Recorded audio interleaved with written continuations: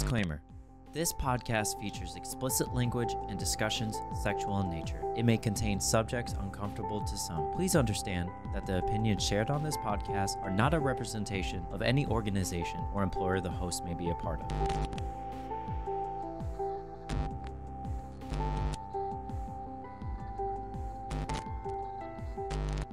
Welcome back, everybody. We're here to talk about stuff and things. Donate to our Ko-fi. You can buy us a coffee on Ko-fi. You can also donate us all of your life savings. All of your life savings. Our, our podcast setup has definitely improved. Yeah, I think I think we've gone a long way since our first episode. Do you remember our first episode so long ago in a galaxy far, far away? Jay, I heard a, I heard a little story that you had a, a bathroom experience recently. Oh no, are they are they still talking about that at Target? It was one time. I had two like mini shots of espresso at Starbucks. It was a one time thing. Believe me, it was as uncomfortable for me as it was you. I'm sorry. I heard there was a lot of poop. Yeah. Oh wait, no, not that time. Yeah. We're talking about the gender neutral bathroom uh time, you know. Oh, You were at some kind of festival and you uh yes. went to a gender neutral bathroom. It was like your first experience. Yeah. So I was at SEAF, the Seattle Erotic Art Festival. Loved it. Great, great time. And yeah, it was my first time in a gender neutral bathroom, which I did not even know that I, that was the thing until I was in it. Um, to be honest, had a couple of drinks that night, just kind of going with the flow. I went into the restroom, not really thinking anything about it you're there to do business. Yeah. You're pretty much in and out unless there's Starbucks and shots of express. It's. Espresso, yeah. You know. Mhm. Then there's messes and you, you just can't get out. But no, so Huh? Another story? but it was um yeah, I went to, I went up to a urinal. I actually think when I was going into the restroom there I was behind someone that was dressed in a very feminine attire. Mhm. they went to i believe wash their hands at first i went over to a urinal then they came up not right next to me you know that that would have been very odd if there's like 20 urinals open and she's like right next to me Yeah, because there's like 20 other open ones. Right. It's, it's you don't get the one right next to someone. Yeah, That's I- like common etiquette. Yeah, Yeah. I do that with stalls. I do that with stalls. Yeah. Yeah. Like if I see someone go in one and they're all open, I'll go in like the one further down. Right. so there's rules there's rules to follow unspoken rules that we all know uh Well, they- not everybody knows. that is true This That is true. That is true. But I believe they they came up to I think maybe they left like couple empty and then went to one. There there were no like dividers in between the urinals. They were all just like in a line. And yeah, it wasn't that big of a deal. So at first like I just kind of like glanced over. I'm doing my own thing cuz And you're like, oh, there's a woman peeing next to me. yeah. So Okay. again, I had a couple of drinks. So it was one of those times where like I saw movement out of the corner of my eye. So I kind of just like naturally looked. And then I was like, wait, what? And then like looked again. And you're like, oh, it's a woman at the urinal. It's not a normal thing to see, but Classic double take, of course. it's not a it's not a common thing to see. Not a very common thing to see. First time in my life. Yeah. But I didn't think it was that big of a deal. And Mhm. I think if anything, I was like, oh, cool. Sweet. Like, wow. Like, wow, everybody can use the bathroom here. like what a what a kind of like a power move right now. what a power move right now. Yeah, right. Okay. Uh, but yeah, like I I didn't think it was Jay's that big of a deal. feeling intimidated by the urinal. He's like, I mean, it's it's Seattle. Like yeah, not as uncommon no. Right. as other places. But for us Floridians coming to out here, it is kind of different. It is kind of different. And it's not surprising or shocking at all when you see multiple genders in one bathroom together. because everyone's just using the bathroom. It's Right. I right like they're just using the bathroom like normal. I mean. I'm making phone calls and doing my makeup. There's one time I ate lunch in there. Ew. What I mean, someone eh, No. No. not once No. No. in your in your entire school life you never I- had a depressing lunchtime So- and went into the bathroom. Oh ate wait, so you're talking about high school? Well, yeah. I didn't want to get into it, but you guys I- never had like I have a question. what? What Well- foods are best to eat in the bathroom? So there's that question. There's also a question of were you going number one or number two? What? I was just sad. Okay, There- there's Ah. times where you get sad and you want to be alone. So you were hiding in the restroom. You weren't Yeah. using the restroom as you're eating lunch. Yeah, See, I, I hid in the band room. I didn't hide in the toilet. that's crazy too to think about. Like so many people think like the big argument with trans people in the bathroom Mm. is, oh, they're just gonna be in there putting our children's safety at risk or putting other people's safety at risk. And it's crazy to me because for the longest time, for me, the bathroom has been a place of like safekeeping, like where I mm. can go and be alone. No one's gonna bother me. I can be alone with my thoughts. I can use the bathroom peacefully. No one's gonna bother me. I have my private time. But everyone thinks when it comes to trans people in the bathroom that it's not it's like everyone's not gonna treat it as a private moment still. And that that baffles my mind. It's just people using the bathroom. There's Like, nothing dangerous about us being in there. no, I should be able to, if I want to, I should be able to go use the urinal. And no one should be giving me flack about it. Right. Uh, I, I 100% agree. Mo- most of the time, I'm just I'm I'm there to do my business and try to get out as quickly as possible. I don't like to spend a lot of time in the bathroom. Yeah, I want to get in and out. To me, it's kind of gross. I'm Yeah. like, ugh, like let's leave. So yeah. So just yeah, everyone out there, no, I did not get mugged or harmed or raped in the restroom. It was it was just like every typical day in the in the restroom. It there was no big deal. There was no conversation. I Yeah. did my business, they did their business. I hope both of us washed our hands afterwards. That's like that's my that's my biggest thing is make sure you wash your hands Yeah. after the restroom. If anything, there should be a law against you not washing your hands. Yeah, restroom I- after you Yeah. use the restroom.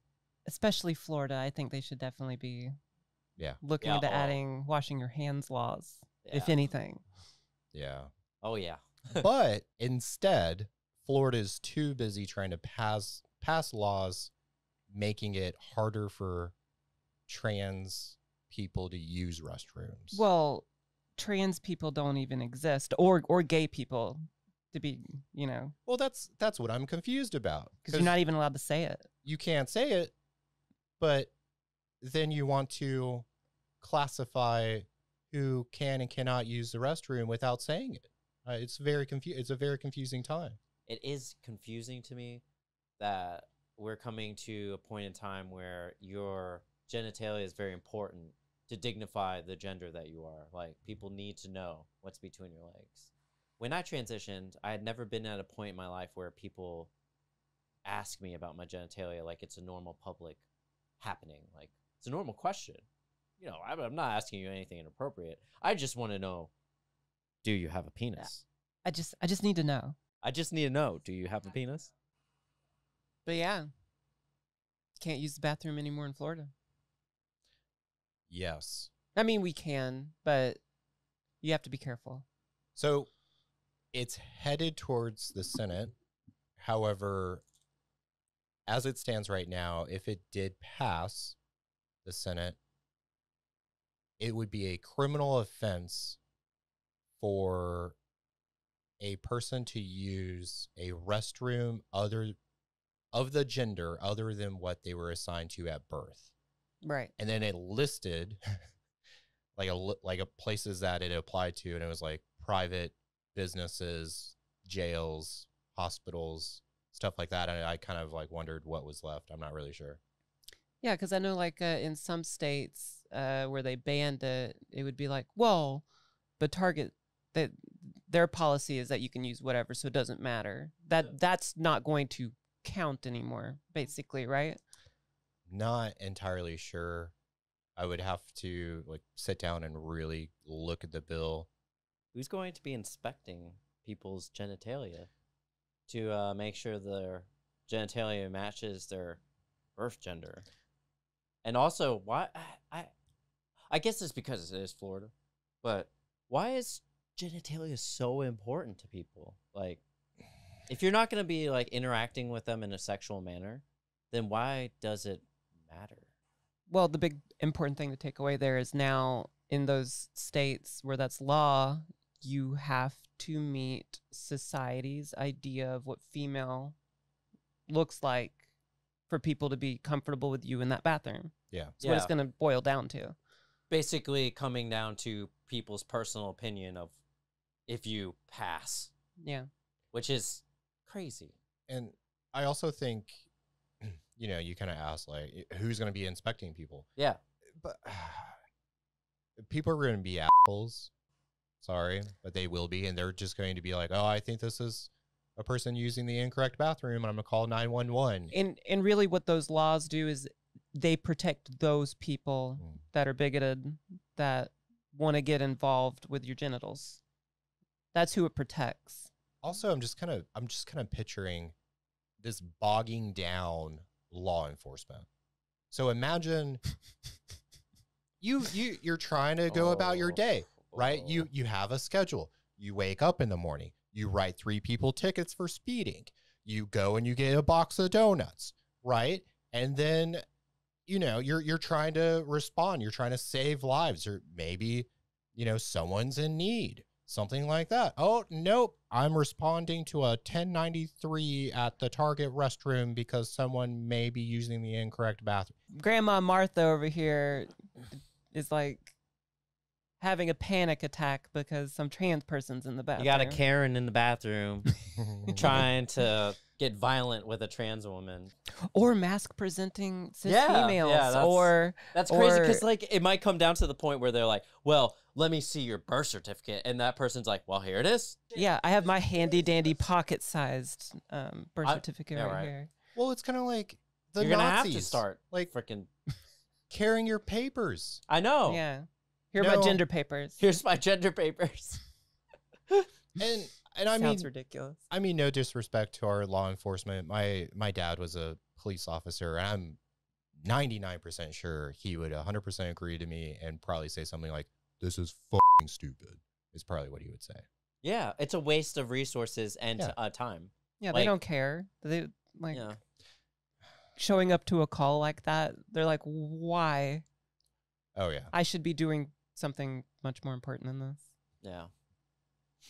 Like Bathrooms. like stopping me from speeding or something. Oh my Oh. gosh, it just uh, the thing that like popped into my head was like remember back in like elementary school or middle school we'd have like hall patr- patrols, yeah. right? Like make sure you're like make sure you're in class. Oh. Oh, Do you have your pass? It's like this, it's like this, that. This might create more jobs for people. Yeah, they could be like I could be uh, the bathroom they could- monitor. like a Yeah. dick inspector. Yeah. Yeah. Or Mm. yeah. I'd take that job. I'm I'm very qualified for that job. It's like what was that? What's the the thing that they teach you in school? The golden rule. Punch them in the face.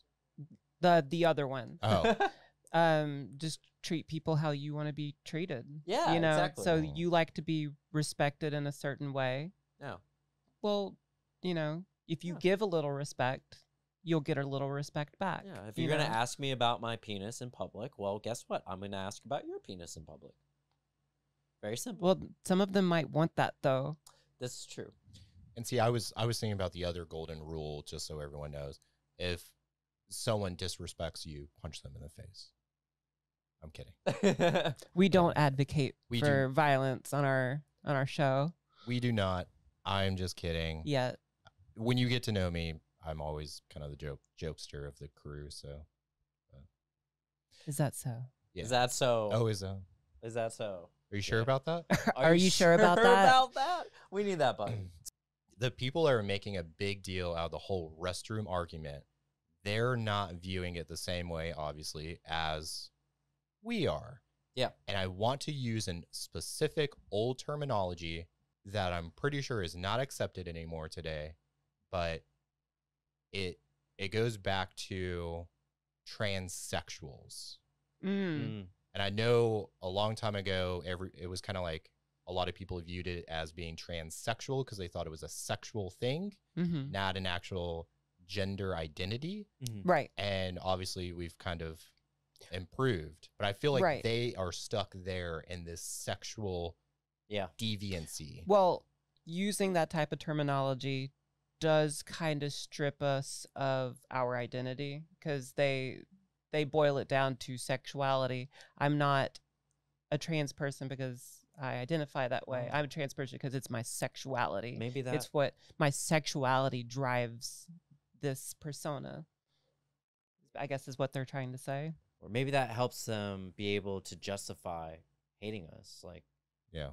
Instead of being like they're transgender people, it'll be like they're transsexuals. Yeah, it makes it's it sounds more perverse Yeah. than saying trans person. It Yeah. it does have I a more negative connotation to it. So of course, of course, they would prefer to use that term. I'm Especially if they're talking in public, you Yeah. know, about it, like eh, at like any kind of meeting or protest or anything. They're gonna try to make us look bad. Right. Or transvestites. They Yeah. love that one too, because then that just that just says it's a person dressing that way. Mm.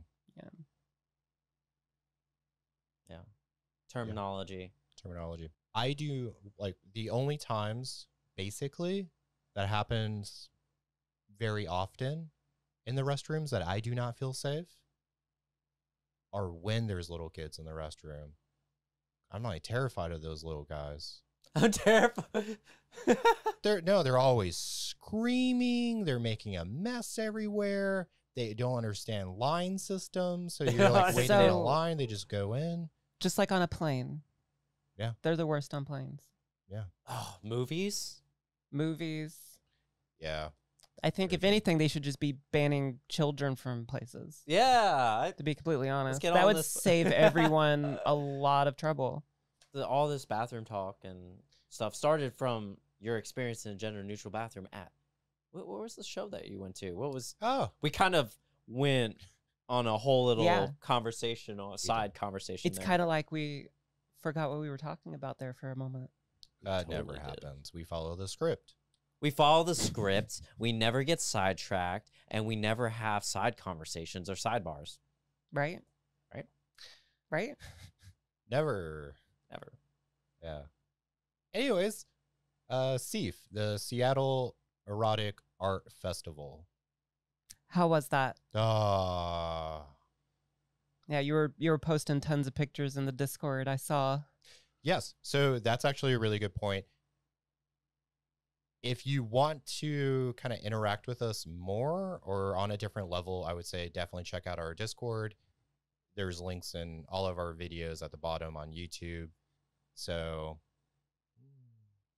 um but yeah, so for instance, I went to I went to the Seattle Erotic Art Festival. I was taking tons of videos and everything like that, and I was just posting them in the Discord server. I don't know if I don't know if you guys liked it or not, but I was doing it. And also, Some of those were spicy images. I liked them.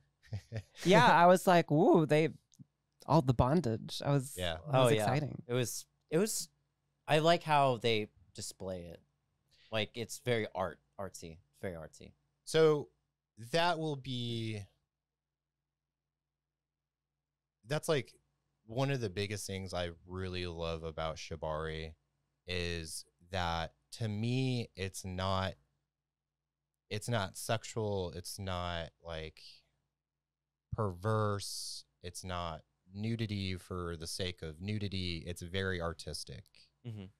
Uh you take a very simple person, rope, and then you make like this beautiful art form. And there's so much that you can do with it. And I think that's, I'm kind of going on a little weird art tangent here, but um, I remember when I was in college in art class,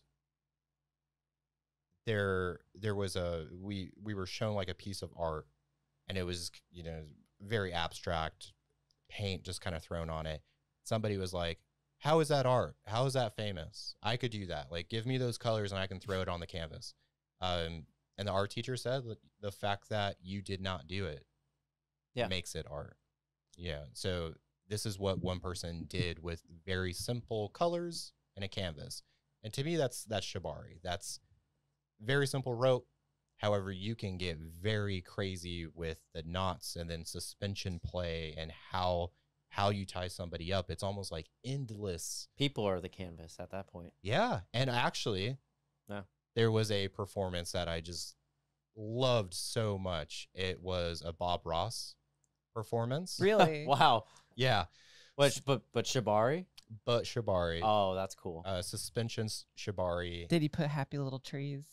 Like, how did does they, that work? Did he with rope? tie them into happy little trees? yes. yes, they. In fact, he tied them up to a happy little tree. No, so it, it started off kind of very playful. So you had Bob Ross painting a picture. Uh, you you had a female kind of like trying to model, and Bob Ross wasn't very happy. He was making a lot of mistakes, and eventually it leads into him then uh him then using her kind of as a canvas. So tying Oh, her okay. up, suspending her, putting paint on her, having her drip the paint onto the canvases below. And it was it was an amazing amazing performance.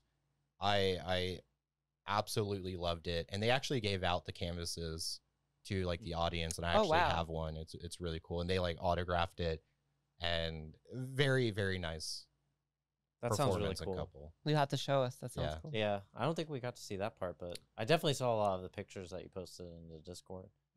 So it looked like a lot of fun. And I will say it's just the whole atmosphere, right? So you go into a place and all of a sudden the things that you like are 100% normal and accepted and by no means are you kind of like the the weird one in the group or in the room. You're you're surrounded by thousands of people that are just like you that like the things that you like.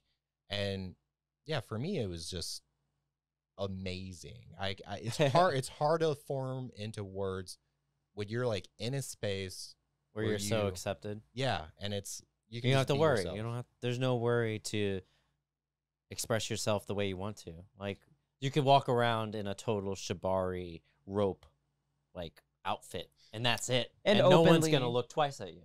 Right. And openly talk about rope all you want with Yeah. whoever because Or dungeon stuff. You know it's accepted amongst everyone there.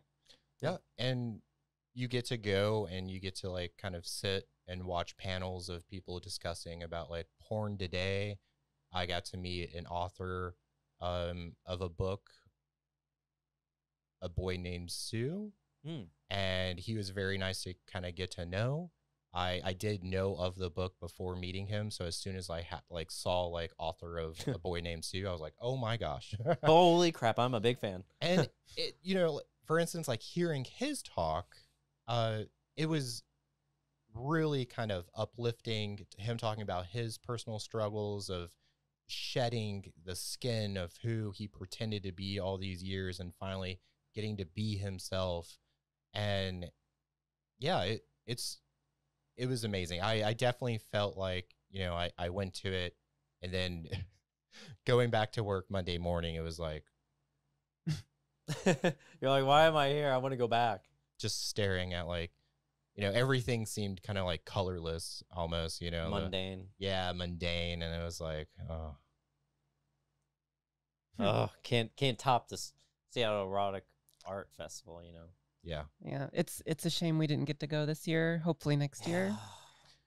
however i will say However, even though yes i i 100% believe you two should have went i think you would have enjoyed it very much we are going all three of us to a shibari class oh yeah, that's I right. You got us signed up, right? yes i believe it's in july i would need to double check the that's date exciting. of that Yeah, that's gonna be really exciting. Maybe we'll get some clips and uh, post it on the Unnatural To Some YouTube page. Maybe I'll start calling it YouTube UTS yeah on Huh? the UTS on the Oh. on the UTS YouTube page. Yeah. Um that's exciting. Uh maybe we can ask and see if there's a policy on videotaping. I will have to double check.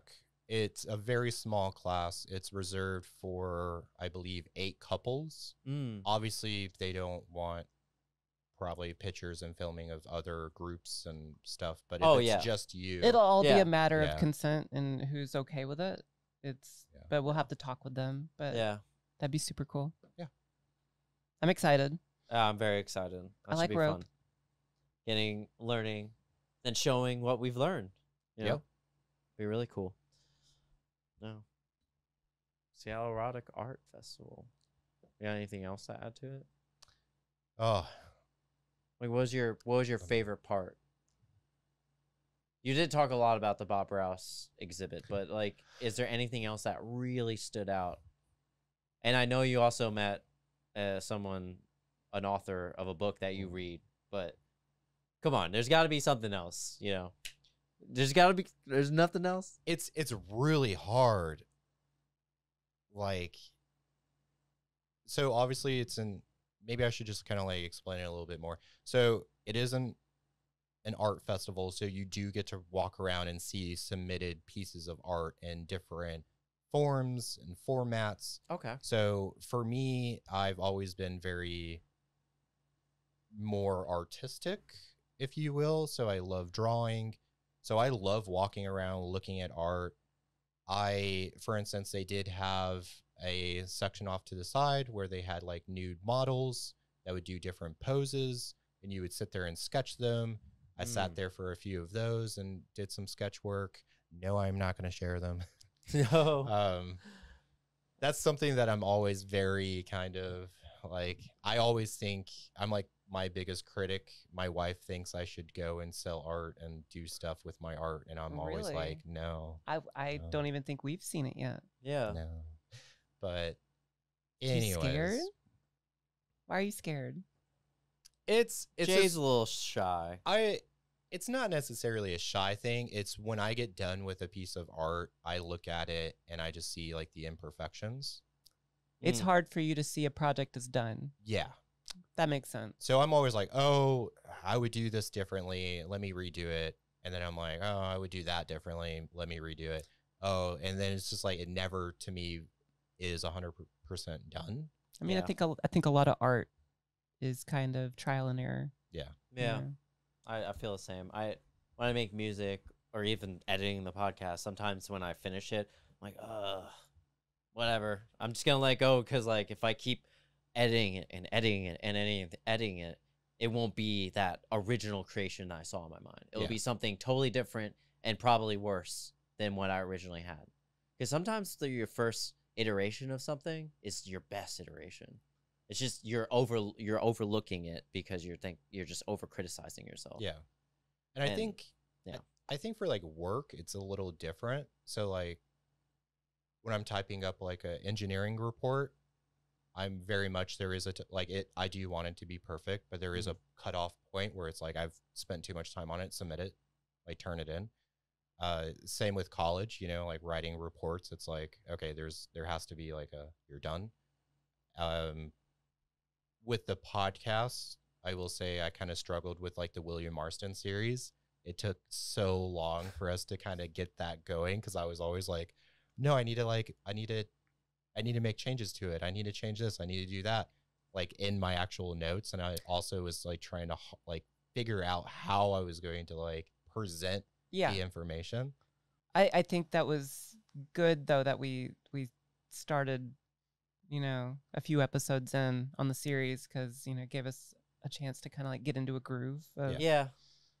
shooting. You I know, feel what like are the William Marston series may have been a little, have been a little bad for our first, you know, couple episodes, just because we didn't have like a group. We didn't even have like a natural like element to our podcast yet. Like, I know you and I, we've been friends for many years, but it's like adding a new friend to our group. You know, like it's gonna take a while to form that chemistry.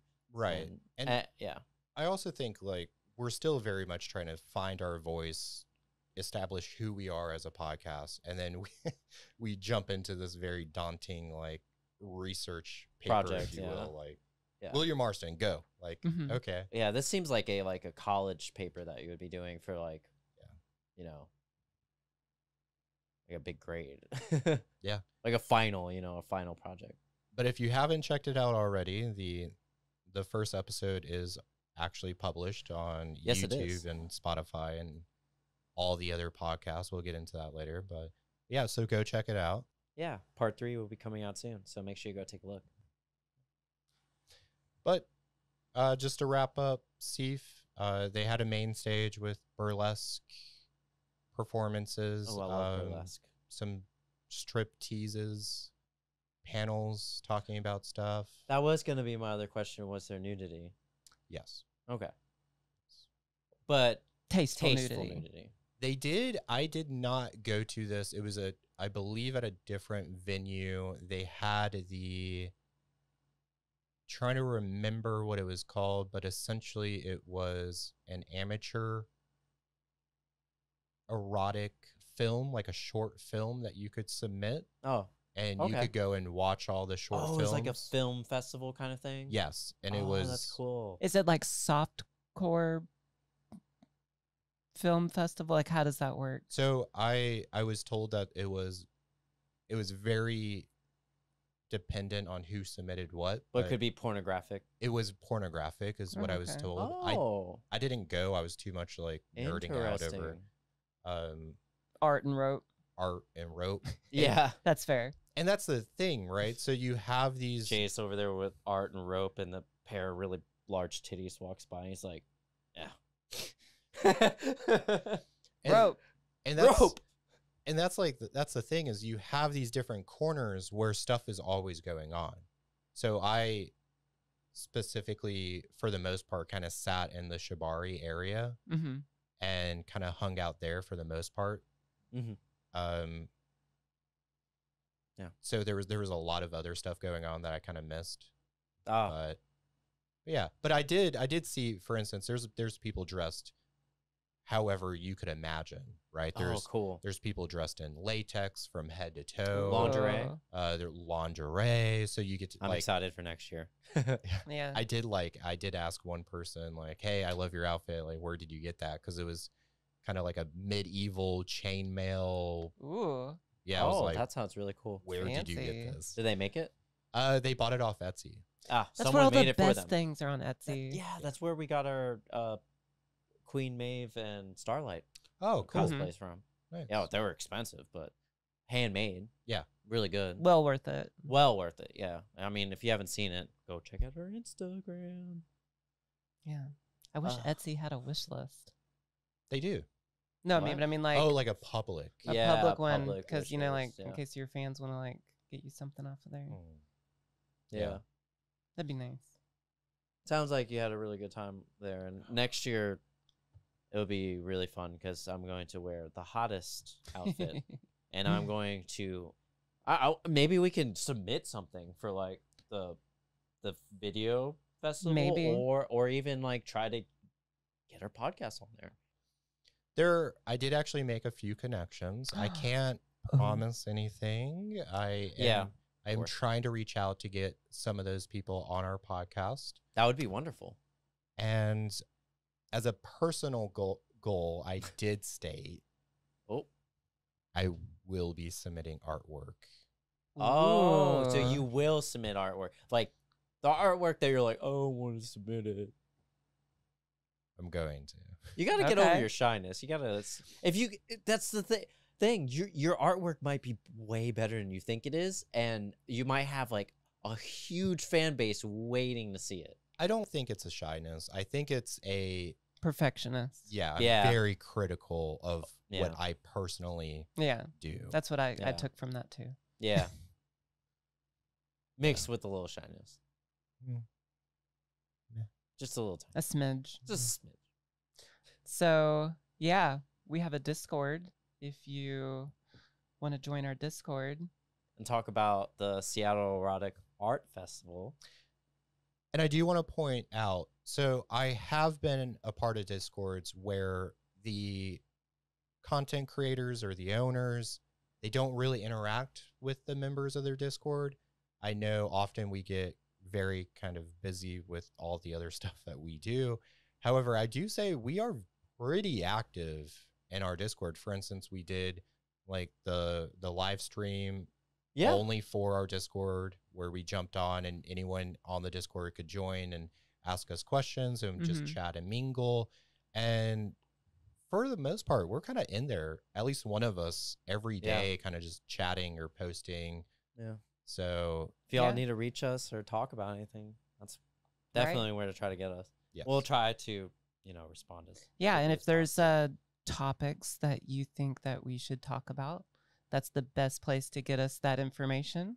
aside from like CF, I know we had other things to talk about, mostly trans related. Nikki was gonna bring something up about Yeah. a rep a representative. A in Montana? representative in Montana. Oh, Yeah, so a representative in Montana who happens to be transgender oh wow, was voted to be removed from the floor, like the Oh, the the- room. wow. So like she can't go to like work at her seat anymore. can't like talk or even be in the in in the area or in the room. Sorry. Right, right. So a apparently, it's because she wouldn't apologize for a comment that she made. She was, you know, advocating for uh, gender affirming care. Of course, You know, for fighting for people, yeah, for you know transgender people to representing her people more like right. And she was, you know, selected by the people to represent. Yeah, right, right, representing. yeah, her job. Mhm. Yeah, so um that bill was passed and she was upset about it and she Which bill was that? the one banning it. Banning. Oh, gender, Gender affirming, affirming care. care. That's right. Sorry. Right. So she said to everyone in the room, you know, next time you bow your head in prayer, know that the blood on your hands is yours. Powerful statement. I mean, Yeah. it's true because like them passing, trying, voting together to pass a bill like that is literally putting a lot of the, our community at risk because they see that as people don't accept us, people hate us, we get depressed, and some some of us hurt ourselves because of this, and some of us t- end up taking our lives. And I guarantee you, there's a lot of people that already have. Yeah, I mean, not being allowed to exist in the way that, That you you want to want to. exist, not being seen in the way that you want to be seen. That's that's hard for a lot of people. And yeah, people hurt themselves. It's unfortunate. I can't believe I can't believe they even like I don't know much about like represent house representatives or anything of that sort or, Oh, or career politicians, but I can't believe they were able to just vote her out like that. Well, so um, conservatives hold two thirds of that establishment. So oh, okay. So um, when she decided not to apologize, you you know like you have to say you're sorry, and she's like, no, I'm not gonna say I'm sorry. This is this is how I feel. This is yeah, it's not like she was being rude about it. She was just being honest. Like, yeah. So but two thirds didn't like that, and they quickly voted her to leave, and she's you know having to do her job remotely now. Well, Yeah. how you feel about that, Jay? I know you're not trans, but I don't like politics at all. me neither. I I saw like a lot of The only reason why we brought it up is because she is Yeah. trans. And, And- she's just a couple of states over. This Yeah. is these are like our neighbors. Yeah. Yeah. If if we get into politics at all, it usually heavily deals with either BDSM relating to Jay or trans or it has to deal with us in some way. We don't just bring up politics to bring up politics. Yeah. And if we do, it's usually to make fun of politics. or poke fun at it. But yeah, it's just it's another trans person standing up and being silenced. Trying to do the right thing for her and her people. You know. It's, it's getting scary out there in America. but we're not people. So Oh I think I'm a weird alien creature from a different planet. I mean, does that go back to the old terminology of transsexuals? Like, and and, dehumanization. and again, I always when I see people that are fighting against trans rights, they always seem to be much older than us. Oh, And Yeah. I kind of just wonder, like, is that is it part of the terminology? mean, they- it- or, or and supremely they're either much older than us or younger and supremely religious. It's just those back in my day people, you know. Yeah. but see,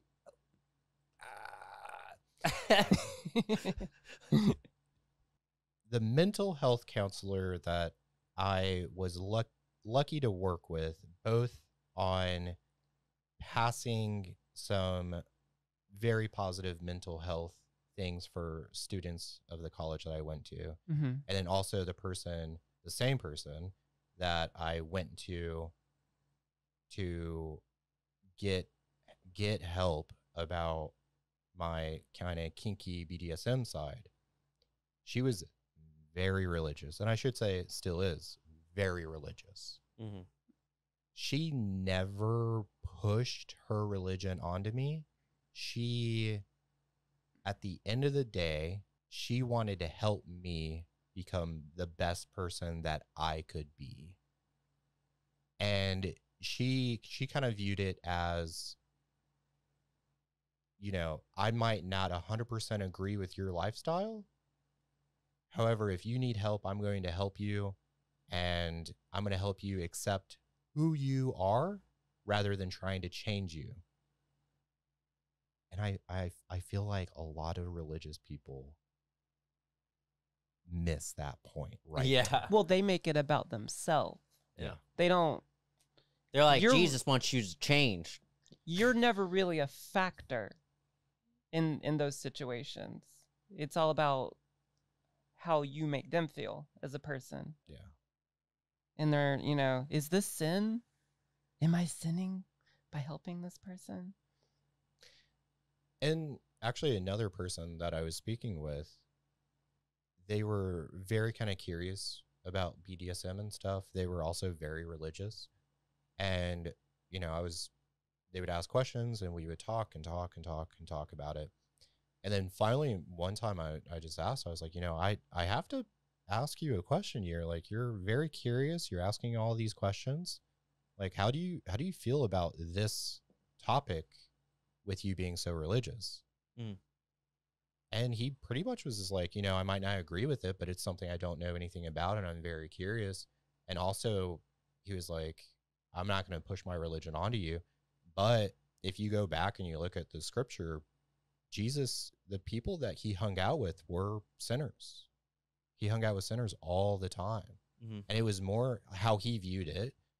He he said it was more so about just trying to be a positive influence around them and not so much like trying to like cast that first stone if you will and kind of demonize what they were doing and trying to Yeah. change them it was like just trying to get to know like who they were where they came from Exactly. and then just being a positive influence and then if you wanted to change hey you feel comfortable you can come talk to me about religion and stuff like that but he's like i'm not going to push it on you Yeah. And me and me and Jenny, we don't like hate religious people. oh no, definitely not. right In you fact, know? I love talking to religious people that love talking to me because I feel like it's educational on both sides. You know, Yeah. sometimes they give me a piece of the Bible that I never knew about, and sometimes, most times, I give them information about trans people that wakes them up. They're like, "Holy crap!"